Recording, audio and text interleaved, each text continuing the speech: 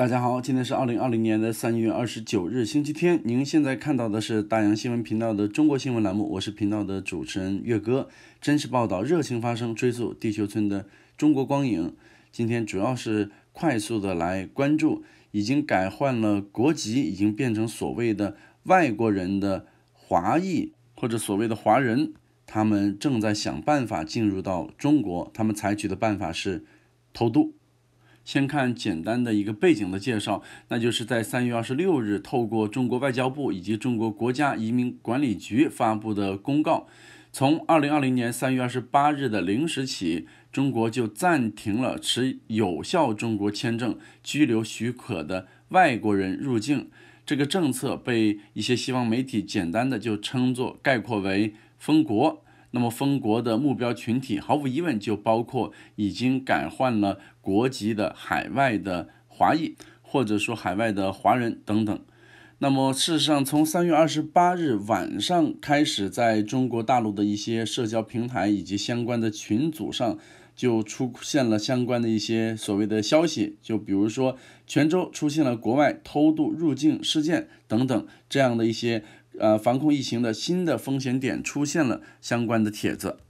那么，首先第一个，泉州目前有没有说偷渡入境的具体的人员或者说相关的案件呢？那么，根据三月二十九日中国大陆媒体的报道，在泉州就目前还没有，但是当地已经严防死守。三月二十八日，泉州市公安局鲤城分局就发布了一份文告通告。标题是关于严密防范境外新冠肺炎疫情输入的通告，其中就言之凿凿说，对新冠肺炎确诊或疑似患者偷越国边境及相关组织运送偷渡行为做出了明确规定。相关的规定是什么呢？比较多。那么其中有一条比较重要的，就是说最高可以判处无期徒刑。现在根据泉州市下属的一些县所发布的通告。就明确的写明了，组织他人偷越国边境的，按照中国的刑法第三百一十八条的规定，处两年以上七年以下有期徒刑，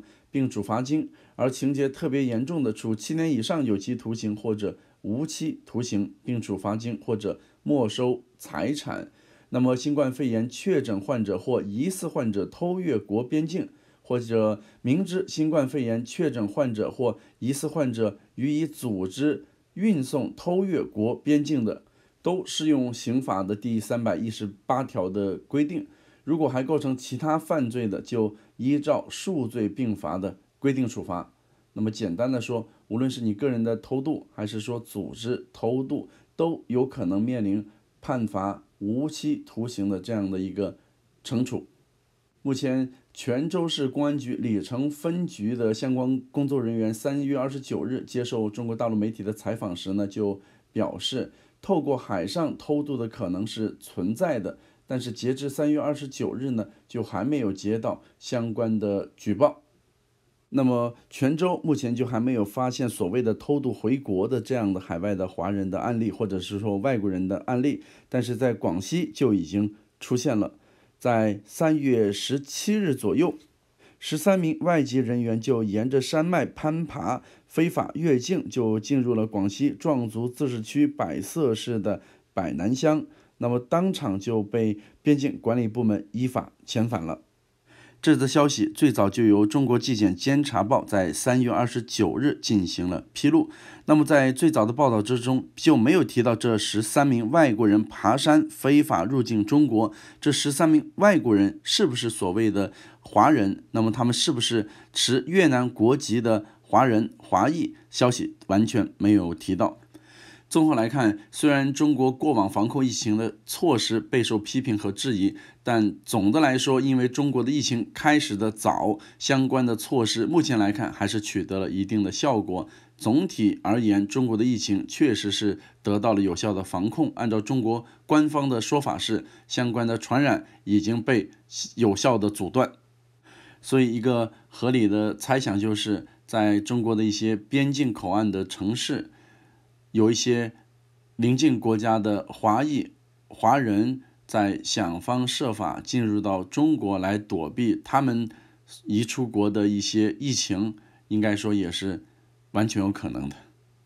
根据前面刚才提到的中国外交部和中国国家移民管理局发布的公告，中国方面是有可能出于紧急人道主义需要而让外国人进入到中国的。那么，躲避当地疫情的这样的一些华裔华人，他们能不能获得这样的人道主义的帮助呢？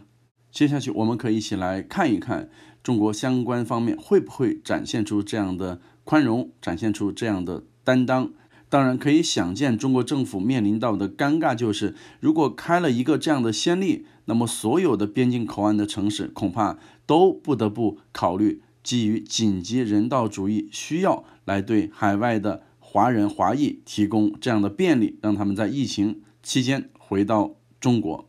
特别是中国的一尊，您现在看到的习近平先生，他在三月二十七日还特别强调，当前的疫情防控的策略重点就要放在所谓的外防输入、内防反弹上。那么，外防输入，为经济重启焦头烂额，同时又还要忙着两会的筹备的习近平，他会有这样的同理心吗？